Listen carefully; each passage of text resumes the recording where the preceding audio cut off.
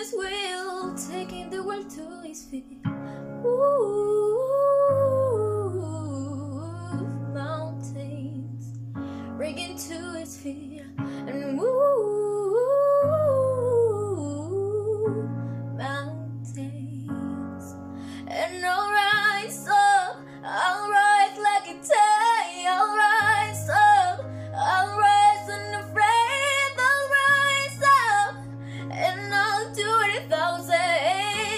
again.